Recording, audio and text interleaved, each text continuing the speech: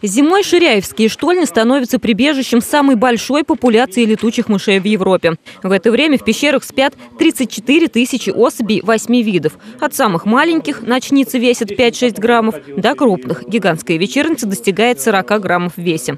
Работники национального парка Самарская Лука всеми силами стараются сохранить покой зверьков и просят не посещать штольни зимой и уж тем более не разводить там костры.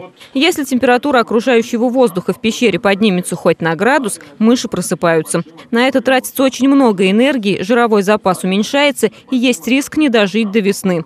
Подробности из жизни этих загадочных зверьков рассказывают в музее летучей мыши в Ширяево. Не нужно беспокоить совершенно, и бояться этих главных животных не нужно. Вот. Э, мне вот мама рассказывала о том, что вот, как же там летучими мышами ты занимаешься, там э, смотришь на них, они же, говорит, они же залазят в ухо и выпивают у тебя кровь. Я говорю, ты откуда это взяли? Такие мифы и есть. Они счастны, говорят, ну как же, значит, нападают.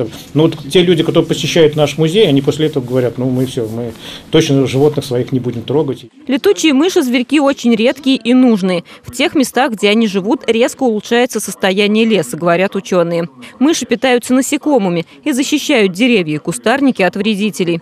На самих мышей охотятся лисы, ласки и куницы. Особенно летом, когда мыши спят на открытом воздухе.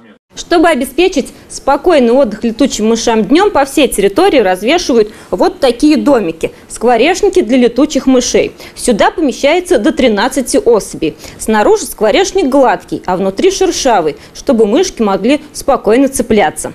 Музей летучей мыши работает круглый год. Здесь можно поближе познакомиться с жизнью и особенностями этих зверьков. И два раза в год действует тур «Ночь летучих мышей». Желающие могут увидеть, как ученые отлавливают животных, взвешивают их, крепят специальное кольцо на лапки для дальнейшего изучения. Марина Матвеевна, Максим Гусев. События.